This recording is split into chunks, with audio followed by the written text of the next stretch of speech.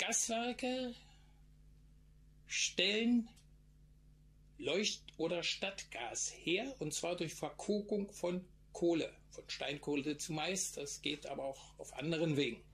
Das heißt, unter Luftabschluss wird die Kohle erhitzt, sehr heiß und schmutzig die Arbeit, und im Ergebnis entstehen dann Endprodukte wie Gas, Koks, Teer und noch ein Haufen andere Abprodukte, die die Gaswerke erfolgreich verkaufen konnten.